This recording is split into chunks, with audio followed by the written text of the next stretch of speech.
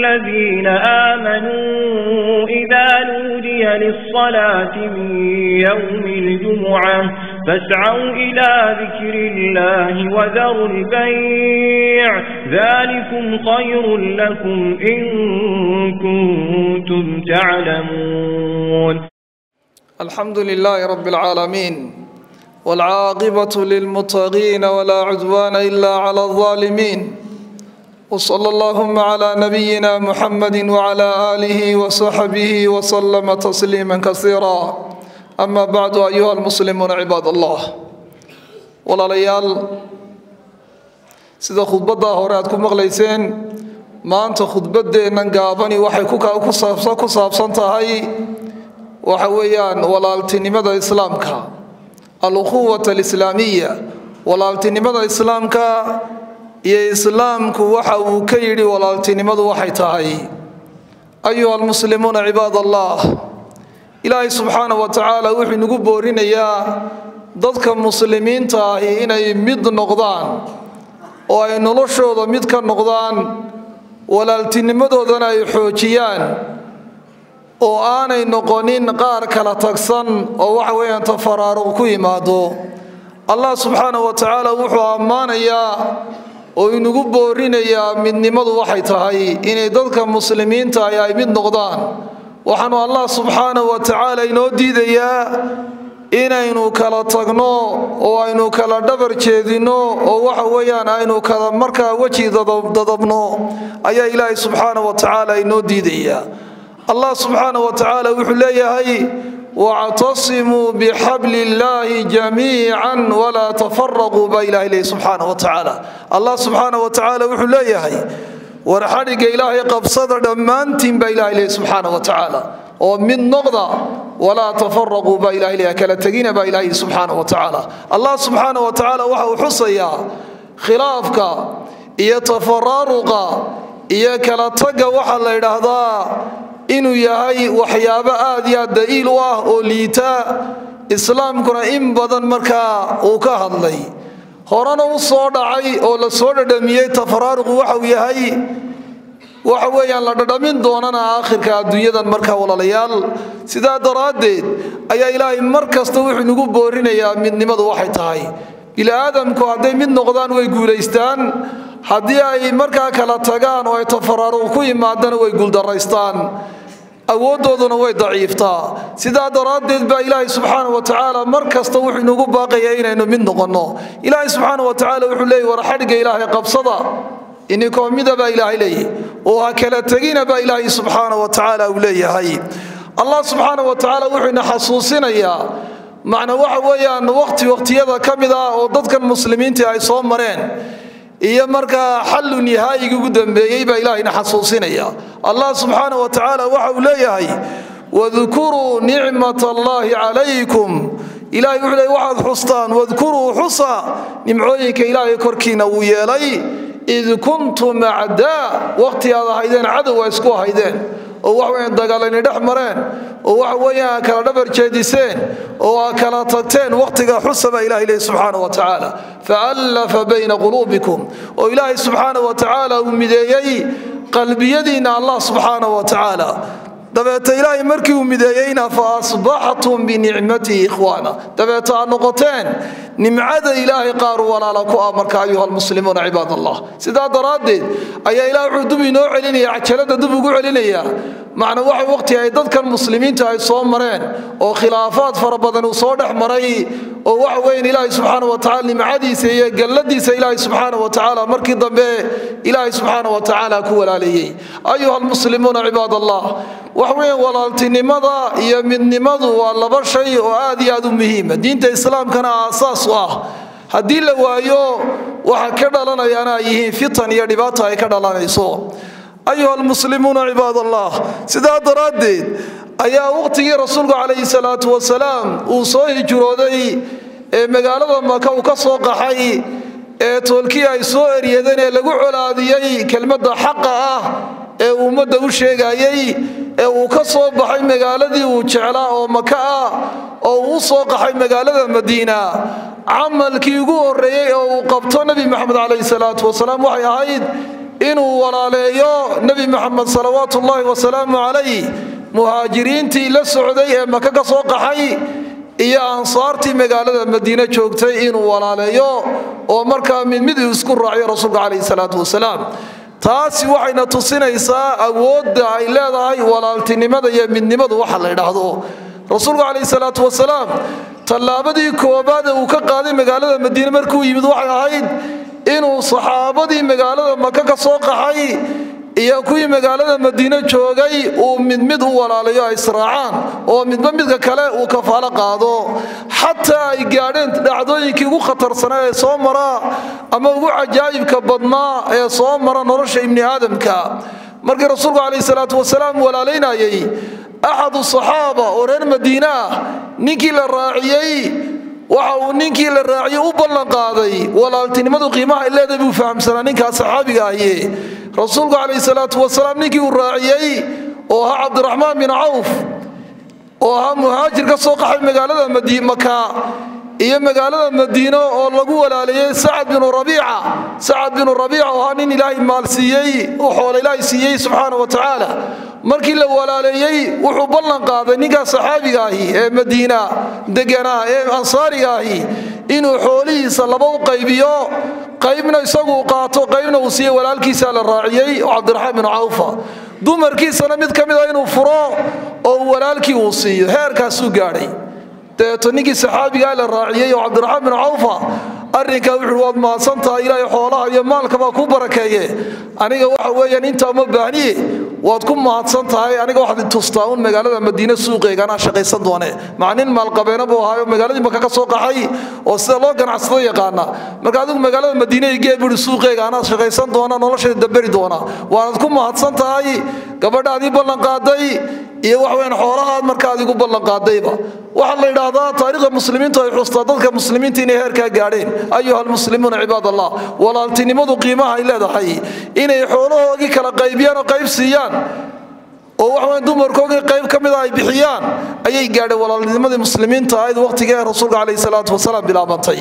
Ayuha almuslimuuna cibaad waxaynu odhan karnaa waxay fahmeen dadkaasu walaaltinimada qiimaha ay leedahay iyo waxa weeyaan nimcada ku jirta bay fahmeen baynu odhan karnaa. Waana talaynaga doonayo maanta inay noqonno dad walaalaa oo ilaahay subxaana wa tacaala dartii ku walaaloobay oo waxa weeyaan ilaahay subxaana wa tacaala dartii isku jeclaynu noqonno taasi hadday timaado adduunyadii aakhira labadaba aynu guulaysanaynaa ilaahay subxaana wa tacaala wuxuu tilmaamayaa walaaltinimada qura إلهي سبحانه وتعالى كتابك سكحصي وطائس لنمضى إلهي يحلي إنما المؤمنون إخوة بالله سبحانه وتعالى ولا لنمضى ما أنتين وعلي مؤمنين توقرا إنما المؤمنون مؤمنين توكليا إنما لغة العربية أدوات الحصر بلده وحبي كوبتا معنوا شيئا وحكوبا لغة العربية إلى يوحو قليه سبحانه وتعالى يدا إنما المؤمنون با إلهي المؤمنين تو كلية با إخوة ولا لا با إلهي سبحانه وتعالى. سيداد رادد ولا التنمى الإسلام كو آديات بوقيمة بضانتاي حديث كمسلم مصاصة رأي من حديث ابي هريرة. نبي محمد صلى الله عليه وسلم وحول لا تدخل الجنة. كان هذا قال ميسان حتى تؤمنوا إلا إلهي رميسان ولا تؤمنوا حتى تحابوا. ولا تؤمنوا إلهي رميسان إلا ذسك علاتان با النبي صلى الله عليه وسلم أولا adullukum mayni tusiya calaa shay idaa facaltumuuhu marka samaysaan taxaababtum aad isku jeclaanaysaan. Waa maxay? Abshu salaama baynakum baa ley sal aleyh wasalam salaanta faafiya.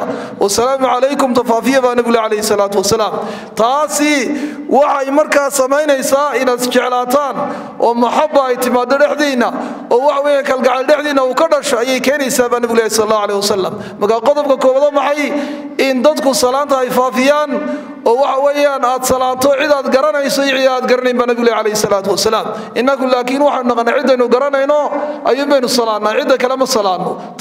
dhaqan aad u liitaan lama ogola islaamku wuxuu ogol yahay inaad salaanto qof kastoo muslima ama garo ama ha garanin baa nebigu leh calayhi salaatu wasalam xadiis saxiixa ku tilmaamaya sidaa daraaddeed waa waxyaabaha adkeeya bay ka mid tahay macnaa waxa weeye in dadka muslimiinta isjeclaadaan oo waxa weeyaan ay iska warhayaan ayuha almuslimuuna cibaad allah nebigu xadiis saxiixa wuxuu ku tilmaamaya akhrajahu lbukhaari ay soo saaray iyo muslim uu soo saaray xadiis saxiixa ayaa rasuulku calayhi salaatu wasalaam waxa uu tilmaamayaa xaqa qofka muslimkaa iyo qofka kale muslimkaa uu ku leeyahay waxa uu nebigu leeyahy calayhi salaatu wasalaam almuslimu aqu lmuslim لا يظلمه. أي النبي عليه الصلاة والسلام حديث كلا قلت المامية. معنى قفك مسلم كاهي قفك كلام مسلم كاهو الله ولا لبا النبي عليه الصلاة والسلام. يانو ظلمين بأن النبي عليه الصلاة والسلام. ولا يسلمه. يا ديبين وعد وانو ديبين بأن النبي عليه الصلاة والسلام. ومن كان في حاجة أخيه كان الله في حاجته بأن النبي عليه الصلاة والسلام. قفك كشقيا باهدا ولا الكي قفك كشقيا بأن النبي عليه الصلاة والسلام. إلهنا سبحانه وتعالى باهدي سايو كشقي أبا نبي عليه الصلاة والسلام. ومن فرج عن مسلم كربة فرج الله عنه كربة من كربات يوم القيامة. نبي عليه الصلاة والسلام قفك كف إذا ولالكس مسلم كاربات كف إذا هاي سطاء الدنيا إلى يوحو كف إذا يا سبحانه وتعالى معنا كرب نباتو نباتوين كما أنت قيامها دعا يبا إلهي سبحانه وتعالى كف إذا ومن سطر مسلما قف قف مسلما أسطربا نقول عليه الصلاة والسلام ستره الله يوم القيامة إلهي سبحانه وتعالى وحو أسطريا ما أنت قيامها نقول عليه الصلاة والسلام وحديث البخاري مسلم صلى وحديث عبد الله بن عمر عبد الله بن عمر بن الخطاب ورين أيوه.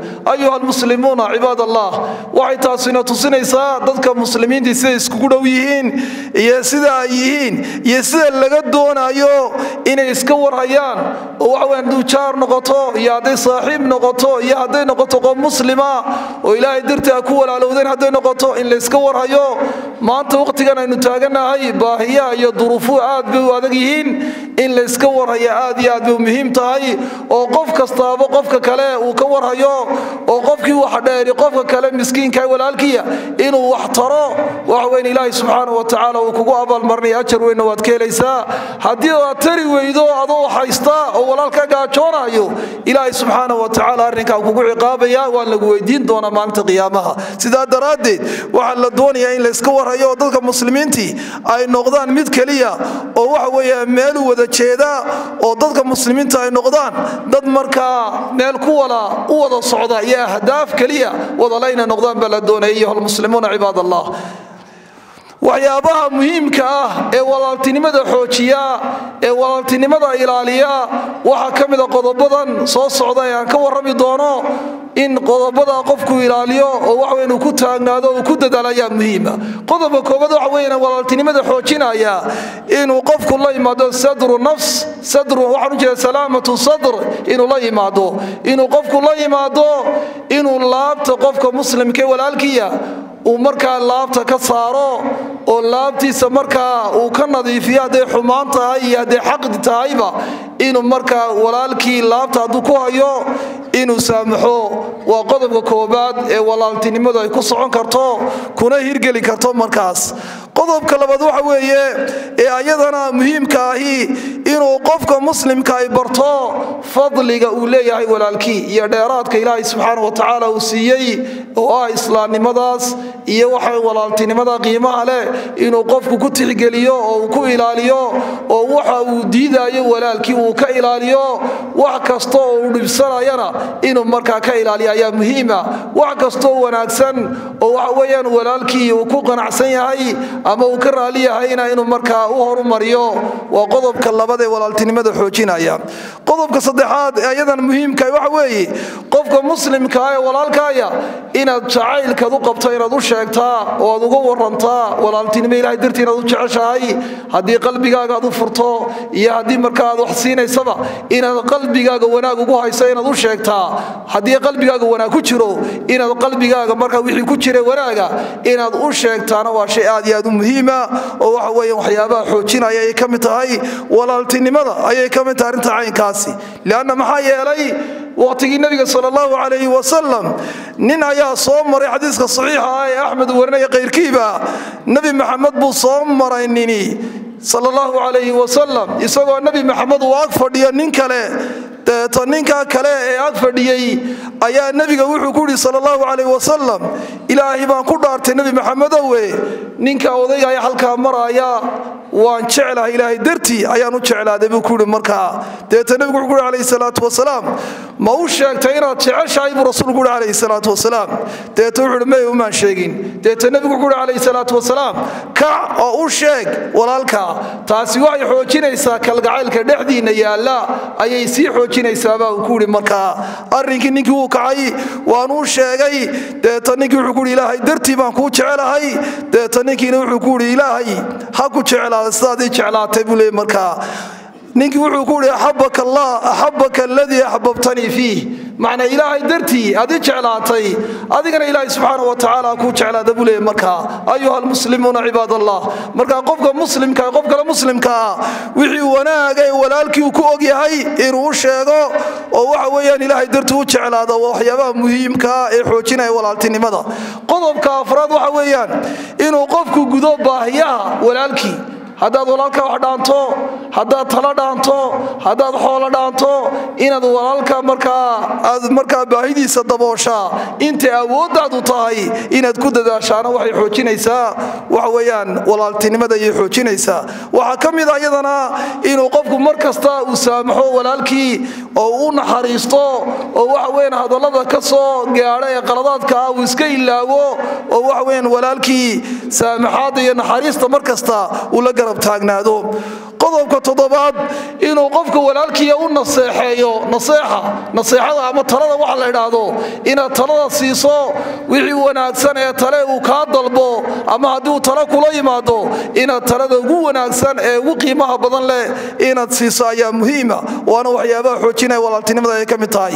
Waxaa kaloo ka mid ah in hadiyad laysi siiyo oo waxa weeyaan dadku ay hadiyadaha isdhaafsadaan oo waxa weeyaan haba yaraatee hadyaduye inaad wuxun gaadhsiiso walaalka ayadana waxay ka mid tahay waxyaabaha qofka muslimkaa walaalkii jeclaysiinaya bay ka mid tahay ee laysku jeclaanayo walaaltinimadana xoojinaysa. Waxaa ka mida ducada ayaa ka mida in laysku duceeyo oo dadka walaalihi ay isku duceeyaan.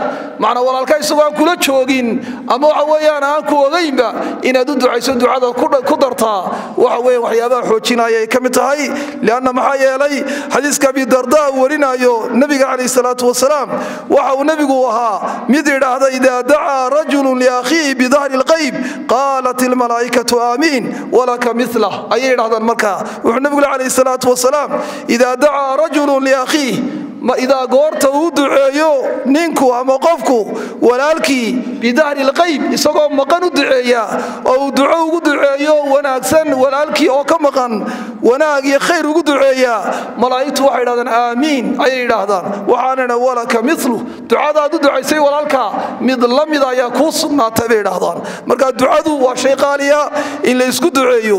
Waxaa ka mida qodobka ugu dambeeya in la oo ziyaarada iyo booqashada in markaa la badiyo oo dadka walaalaha muslimiinta inaad booqataa oo waxyaabaha xoojinaya bay ka mid tahay walaaltinimada wax la idhaahdo ayuha almuslimuuna cibaad qodobadaas waa shayada ugu muhiimsan ee xoojinaya walaaltinimada wax la idhaahdo walaaltinimadu waa shay qaaliya waa shay aad iyo aad u qiimo badan waa shayga midnimada keenaya waa shayga horumarka adduunyada iyo aakhiro labadaba inaad ku gaadho laga yaabo marka xaqiiqatan. Sidaa daraaddeed qofka muslimka waxa laga doonaya inuu mar kasta ku dadaalo siduu walaaladii xoojin lahaa uu mid noqon lahaa. Wax kastoo dilaya ama wax kastoo dhibaataynayana inuu ka ilaaliyo ayaa muhiim ah. Maanta waxyaabaha inugu batay waxaa ka mid ah in markaa waxyaabaha loo yaqaano social media waxa la idhaahdo aad iyo aad bay dhib ugu hayaan bulshada muslimiinta waqtigan xaadirka. Ah mashriq alardi wa maqaaribiha weliba gaar ahaan dadka soomaalida ahi si qaldan ayay u fahmeen. Waxaa laga yaabaa ninbaa hadlaya wanaag buu ku hadlayaa in khaladaba ku jirtabaa laga yeedhaa khudbadiisa intaa yare khaladka ay ku jirtaa ama meel taabanaysa ayaa laga yaaba inuu hadalkii ka soo dhex saaro. Dabeeto ummadda uu ku faafiyo. Taasuna ay sababto inay dadku kala dhintaan inay ummaddu kala fogaato. Waxyaabaha faraha badan leh social media ay hayaan waxa weeye waa waxaan loo dirin bay maanta gacanta ku hayaan oo ah in nin kastaaba waxa la idhaahdo social media ka qayb qaatay oo bulshadeena ay noqotay qaar social media ka shaqeeya dhammaantood ay noqdeen. Oo ay u adeegsadaan weliba inay xalka xumaanta iyo xagga markaa qabyaaladda iyo xalka ummadda muslimiinta wax dilaya oo kala firdhinaya inay u adeegsadaan maanta ay badan tahay. Taasina waa waxyaabaha keenaya inay dadka muslimiintii maanta isnacaan inay qolo kastaba meel ku noolaato in la isku dhabarjeediyo in maanta xumaan iyo baqda ay dhex timaado dadka muslimiinta. Waxaynu leenahay social media dadka ka shaqaynaya ilaahay subxaana wa tacaala uga cabsadaan dadka oo ilaahay subxaana wa تعالى كبقان. يوم من الأيام يوم من الأيام أيا لويدين دون وحي القرطي وحي القوى هذا شيء. أنت منا إلى يكتسك بحصن مايان. ما يلفظ من قول إلا لديه رقيب عتيد بإله إليه سبحانه وتعالى. وعك الصواد كو هذا شو؟ كلمة الصواد كو هذا صواب هذا إلهي سبحانه وتعالى. وقرية ملايك بانوح الصرار انت عين كاسا. كراما كاتبين يعلمون ما تفعلون. إلهي سبحانه وتعالى كنت كن نسبي وإلهي سبحانه وتعالى كعدي. أيها المسلمون عباد الله وحل الدونية. قلوين السوشيال ميديا كشقية. إن أمضى إلهي سبحانه وتعالى وقعد صدان. ووحوين أي كدا يعني وحي قرية ما أنت haddaad aragto baraha bulshada waxyaabaha ka soconaya oo waxyaabo aan dan u ahayn dalkeenna iyo dadkeenna iyo ummadeenna midnaba aan dan u ahayn. Dariiqa hayaana waa dariiq qaldan oo diinta islaamkana ka fog bay hayaan. In yar oo ilaahay u naxariistay mooyaane. Kuwaasina waa in ilaahay ka cabsanaysaa kuwa ilaahay ka cabsanaya waxaan leenahay cabsidaa mar kasta qalbigiina ku haya oo marnaba ha ilaawina. Waayo kelmadaha dadka kala eryaaya ama qof ha ku hadlo ama nin waanana ku hadlo wax kasta way qorayaan laakiin lama doonayo arrinta caynkaas waxaa la doonaya inaad kala shaandhayso waxaad qorayso iyo waxa dadku ay ku hadlayaan oo aad mar kasta ilaaliso wanaagga ummadda muslimiinta. Ah sida markaa dadka muslimiintii wanaagoogu markaa u sii jiri lahaa mid ay u noqon lahaayeen walaaltinimada islaamka ilaalinaysa inaad ka shaqaysaa waa shay aad iyo aad u muhiima. Waxaanan kula talinaynaa dadka social media gacanta ku haya inay ilaahay uga cabsadaan subxaana wa tacaala. Maanta halkaynu marayno waad garanaysaan waddankeeni qayb ka mida waa dagaalla ka socdaan. Haddii aan xagga wanaagga laga istaagin waxa weeyaan dhib badan baa dhici doontaa oo hadhow tolo meel laga qabta la waayi doono. Sidaa daraaddeed waxyaabaha sababayaan waxa weyan waa social mediahaas. Mid kastaaba wuxuu doono odhanayo qabyaaladii maanta waa inaan aqoonin oo beri hore aynu ka tagnay. Maanta aynu dib u soo celino baashii qabyaalada laydhaa oo maanta aynugu fiday nebi maxamedna uu leeyahay dacuuha fa inahaa mumtina baa rasuulku calayhi salaatu wasalaam yidhi war ka taga qabyaaladda waa qurun baa nebigu leeyahy calayhi salaatu wasalaam qabyaaladdu wax faa'iido ay xabaarsan tahay. Ma jirto ilaahayna uma abuurin in la iskugu faano in laandheeryo laangaab la sheegtaa. Ilaahay uma abuurin qabyaaladda. Bal iskaba daayay cidda ugu laandheeraysan ilaahay wuxuu ku tilmaamay cidda ilaahay subxaana wa tacaala ka cabsata. Ina akramakum cinda allahi atqaakum. Sidaa daraaddeed waa inaanu ka talinaa maslaxadda dadka muslimiinta ah meel kasta ay joogaan. Wixii aad qorto iyo wixii aad ku hadasho intaba wax wey mid lagu weydiinayo ilaahayna subxaana wa tacaala ma hilmaamayo ma halmaamayo kelmadahaad qorayso iyo waxaad ku hadhayso dadka qaarkood baa magacyo kale samaysta oo social media magacyo kale intay ku qortaan waxay doonaan ku sameeya dadka muslimiinta ku caaya waxay moodayaan kuwaas in ilaahay ka qarsoon yihiin. Laakiin ogsoonow ilaahay inuu ku arkayo meel kastaad ku sugan tahay. Ilaahayna ku xisaabin doono wixii aad qortay iyo wixii aad ku hadashay magac kasta samayso. Waxa weeyaan wax kasta ama weji kala yeelo ilaahay subxaana wa tacala uu kula xisaabtami doonaa waxaynu leenahay wanaagga ummadda lagu hogaamiyo midnimada dadka muslimiinta ah iyo waxa weeyaan dadka muslimiinta wanaagooga iyo guulooga waxay ku jiraan. Dadkaa soo qoraan baynu leenahay iyo ummadda wixii badbaadinaya iyo wixii wanaaga ummadda ha u sheegaan wixii xunna ummadda ha ka reebaan. Sidaasaa diinta islaamku ina faraysaa. Dadkii qaldame waxaa qoray. Waxaan leenahay ilaahay subxaana wa tacaala u toobad keenaan waxa weeye kelmad yaraad qorto ayaa ummaddan isku diraysaa ama daddan kala kaxaynaysa. Marka kelmadaha la qoraayo ka fiirso. Soomaalidu waxay idhaahdaan hadalku wuxuu qiime leeyahay inta uurkaagu ku jiro. Marka uu ka soo baxo sharna wuu xambaari karaa khayrna wuu xambaari karaa. Sidaa daraaddeed waa inaynu ku dadaalnaa inaynu wanaagga ummadda ka talinno iyo waxa weeye midnimada dadka muslimiinta ah mar kastoo wanaagaad ka taliso ajar baad helaysaa. Mar kastoo xumaanta iyo waxyaabaha xun aad ka talisana waxa weeyaan waxa kula waxa ka lagaga abaalmarinaya. Dee waxa weeyaan ciqaab baad la kulmaysaa. Abaalmarin aan wanaagsanayna waad kala kulmaysaa ilaahay subxaana wa tacaala. Adduunyadan ayaamaa la joogayaa waa laga tegayaa. Intaasoo mudood baa soo martay waa laga soconayaa waxa weeyaan cid soo noqotay miyaad aragteen adduunyadan? Oo dubu soo noqotay? Oo tiri aakhiranu ka nimido maanta adduunyadan ku soo noqon. Ma jirto. Saasaa loo soco سوكوني سيدي دردد وحال لكل مسويه ديرات كاسباتي هدو خيري هينا خير كيبا لكل مسا شر يا هينا شر كيبا لكل مسا إلى اين سبحانه وتعالى وحكا قرصون هبيرات مجرته إلى علي فمن يعمل مثقال ذره خيرا يرى ومن يعمل مثقال ذره شرا يرى بين اله سبحانه وتعالى وحال الله وحا قرصونيا قرصوميا والهي كقرصوميا أنا مجرايان مرقا سيدي دردد وحنو لنا وناقو مضى نكتلنو وحوين ما انت ضدك وحا كوها الله يا مضى kala kaxaynaya waynu ducaynaynaa.